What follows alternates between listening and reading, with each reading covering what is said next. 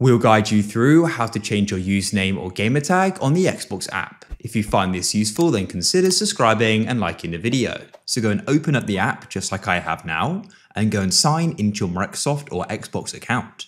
Then all you need to do is go to the bottom right and go and click on your profile icon like so. Now all you need to do is go to the top right and go and click on the gear or cog icon like this. Scroll down here until you go and get into support and feedback and click on help topics. Then all you need to do is scroll down, choose a topic until you see manage your account and profile, click there to expand it and click on how to change your Xbox gamertag.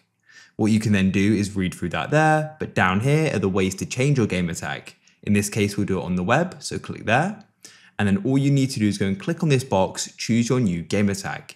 It will take you straight to the site. You'll need to sign in again. After you've signed in, you can now go and choose your new game tag. So what you can do is go and click in here and go and type it in.